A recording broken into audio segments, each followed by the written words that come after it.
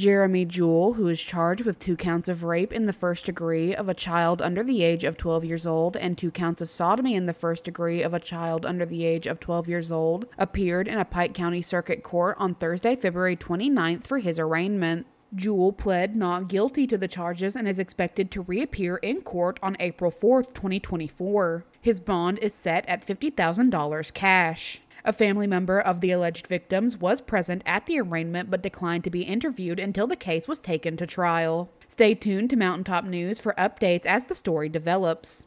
For Mountaintop News, I'm Kelsey Fidel.